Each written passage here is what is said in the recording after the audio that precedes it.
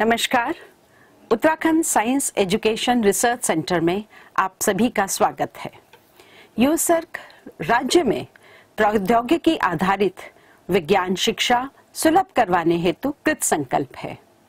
आज के इस तकनीकी युग में, शिक्षा पद्धति में सम्यक बदलाव की आवश्यकता को ध्यान में रखते हुए, शिक्षा के सभी स्तरों तक आईसीटी के समावेश से और विशेषज्ञों के माध्यम से विकसित ई कंटेंट सुदूर छात्रों एवं अध्यापकों हेतु उपलब्ध करवाया जा रहा है।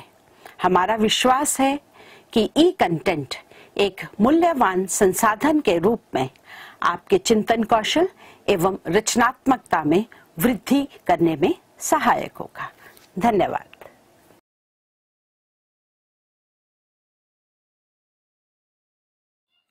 इस वीडियो में हम समझेंगे संघट क्या होता है।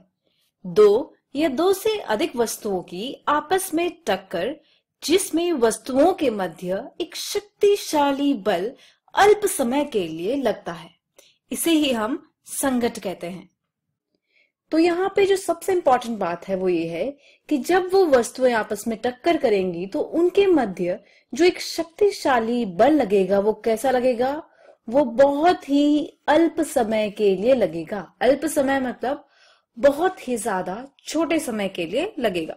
तो इस संकट के दौरान दो चीज़ें होंगी। एक तो पिंड की ऊर्जा में परिवर्तन होगा तथा उसके संवेग में परिवर्तन होगा। तो यहाँ पर ये दो बातें बहुत इंपॉर्टेंट है कि संकट के दौरान पिंड की ऊर्जा में तथा उसके संवेग में परिवर्तन होता है। एक बात और है जो आपको ध्यान रखनी है, वो ये है कि संगठ में पिंडों के मध्य भौतिक संपर्क आवश्यक नहीं है। यानी कि ऐसा ज़रूरी नहीं है, जो दो पिंड आपस में टक्कर करते हैं, वो हमेशा ही फ़िज़िकल कांटेक्ट करें। अब इसके लिए क्या उदाहरण हो सकता है? आपने यदि कभी स्नूकर या बिलियर्ड गेंदों के साथ खेला होगा तो उसमें क्या होता है? उसमें गेंदों के मध्य जब संगठ होता है तो भौतिक संपर्क होता है। यानी कि जो वो बॉल होती हैं, वो एक दूसरे को टच करती हैं। लेकिन यदि हम बात करें अल्फ़ा कण की तो अल्फ़ा कण व किसी नाभिक के मध्य संघट जब होता है, जैसे कि रदरफोर्ड के एक्सपेरिमेंट में हुआ था तो उसमें क्या होता है? जो अल्फ़ा कण व न्यूक्लियर यानी कि नाभिक होगा, उसके मध्य कोई भी संपर्क नहीं होता है। ठीक है? यानी ऐसा पॉसिबल होगा कि संगठ में पिंड हमेशा भौतिक संपर्क में ना हो। ठीक है? तो ये बात आपको ध्यान रखनी है। ठीक है? तो ये बात आपको ध्यान रखनी है। ये बहुत ही ज़्यादा इंपॉर्टेंट बात है। अब हम समझेंगे संघट की अवस्थाएँ। ये कितने प्रकार की होती हैं और इनमें क्या क्या होता है? संगठ की कुल तीन अवस्थाएँ होती हैं। पहली अवस्था होती है संघट के पूर्व। दूसरी अवस्था होती है संघट के दौरान तथा आखिरी अवस्था होती है संघट के पश्चात। इन दोनों अवस्थाओं में जो आवेगीय बल होता है, वो शून्य होता है।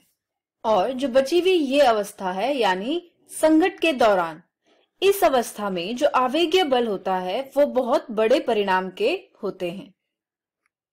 अब जो ये आवेगीय बल की मैं बात कर रही हूँ, यही बल है जो वस्तु की गति को संचालित करते हैं। मगर इस बल के परिमाण को ज्ञात नहीं किया जा सकता, क्योंकि ये बहुत ही सूक्ष्म समय के लिए लगता है। इसलिए हम यहाँ पर न्यूटन का सेकेंड लॉ नहीं लगा सकते हैं। चलिए अब बात करते हैं संगठ में ऊर्जा व संवेग संरक्षण की।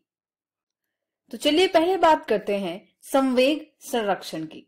तो संवेग संरक्षण में क्या होगा? इसमें जो संवेग है वो संरक्षित रहता है, इसका मतलब जो बाह्य बल है वो शून्य होता है। यानी कि क्योंकि यहाँ पर मोमेंटम जो लीनियर मोमेंटम है, वो कंजर्व रहता है, इसीलिए यहाँ पर क्या होगा, जो एक्सटर्नल फोर्स होगा, वो ज़ीरो हो जाएगा। ठीक है? चलिए, अब बात करते हैं ऊर्जा संरक्षण की। ज़ाहिर सी बात है कि ऊर्जा संरक्षण में जो ऊर्जा है, वो संरक्षित रहेगी। ये जो दोनों नियम है, ये भौतिकी के मूल नियम है, जो किसी भी प्रकार के संगठ पर लागू हो सकते हैं परंतु एक बात जो आपको ध्यान रखनी है, वो ये है कि ये गतिज ऊर्जा संरक्षण के लिए लागू नहीं होते हैं। तो ये एक इंपॉर्टेंट बात है। गतिज ऊर्जा मतलब काइनेटिक एनर्जी चलिए अब पढ़ते हैं संगठ के कितने प्रकार होते हैं।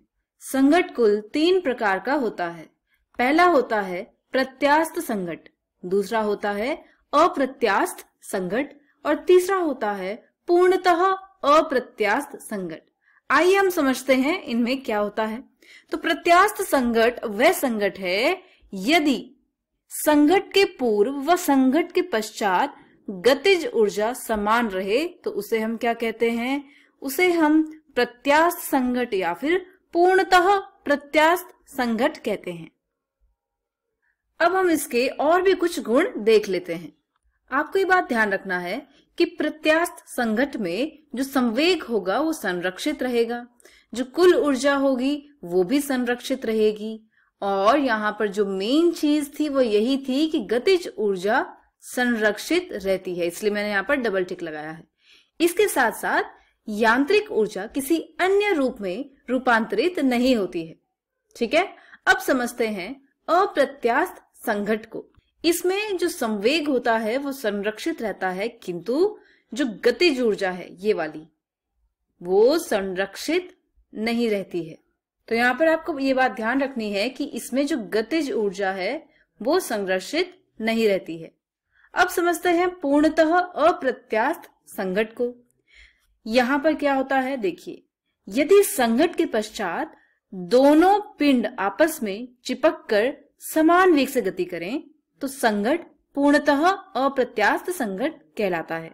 इसके लिए अगर हम कोई उदाहरण ले तो जैसे कि बंदूक की गोली को आप लकड़ी के किसी टुकड़े पर दागे और गोली उसी में धस जाए और वहाँ से बाहर ना निकले। या फिर आपकी कोई बॉल कीचड़ से भरे मिट्टी में या गीली मिट्टी पर गिर जाए और वो बॉल वहीं धस जाए। तो वो किसके उदाहरण है? वो पूर्णतः अप्रत्यास्थ संघट के उदाहरण है। चलिए अब इसके कुछ गुण जान लेते हैं। तो यहाँ पर भी जो संवेग होता है, वो संरक्षित ही रहता है। कुल ऊर्जा यहाँ भी संरक्षित रहती है। यहाँ पर भी जो गतिज ऊर्जा है, वो संरक्षित नहीं रहती है। ठीक है तो देखिए, यहाँ पर क्या हो रहा है? संवेग संरक्षित है, यानी कि तीनों ही केस में संवेग तो संरक्षित ही है। कुल ऊर्जा संरक्षित है। तथा गतिज ऊर्जा संरक्षित नहीं है। तो यहाँ पर आप देख सकते हैं कि प्रत्यास्थ में जो गतिज ऊर्जा थी, वो भी संरक्षित थी, जबकि बाकी दो जो प्रकार हैं, उनमें गतिज ऊर्जा संरक्षित नहीं है। इसके अलावा यहाँ पर एक और गुण है जो आपको ध्यान रखना है। यहाँ पर जो यांत्रिक ऊर्जा है, उसका कुछ अंश या पूर्ण ऊर्जा अन्य ऊर्जा में रूपांतरित हो जाती है, जो कि कहाँ पर नहीं हो रहा था? यहाँ पर देखिए।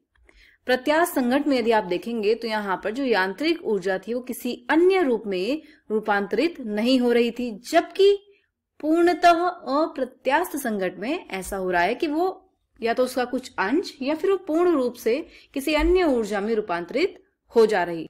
यहाँ पर आपको एक बात और ध्यान रखनी है कि यहाँ पर जो कुछ या सभी बल होते हैं वो असंरक्षित प्रकृति के होते हैं। ठीक है? तो आपने यहाँ पर देखा कि तीनों ही केस में क्या हो रहा था? तीनों ही केस में जो संवेग है, वो कैसा है? संरक्षित है। ठीक है? और कुल ऊर्जा भी संरक्षित है। यहाँ पर भी कुल ऊर्जा संरक्षित है, यहाँ पर भी और यहाँ पर भी।